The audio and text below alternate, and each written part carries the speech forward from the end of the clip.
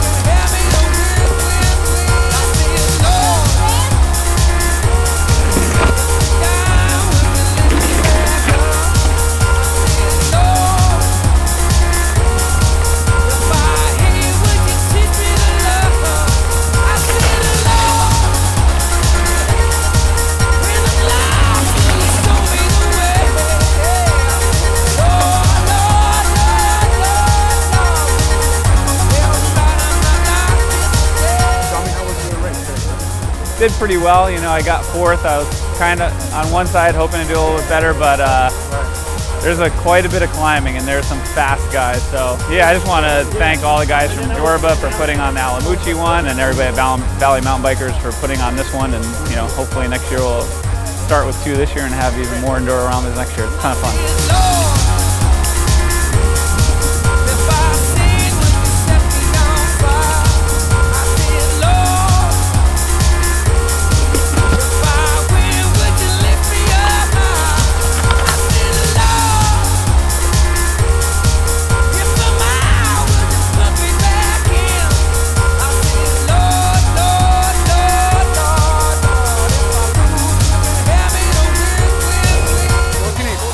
James How'd you race? It was a lot of fun. I won the uh, Open Men. Have this, you raced this format before? No, this is the first time. I like this because you can kind of mess up on a couple sections, but then I was like, wait, I have three more sections that I can make up time, and like that's cool. And then you got the sections in between, and I'll grab a snack and like, you know, talk with some people and get your breath and your mental focus, and then hit it again. And it's a lot of fun.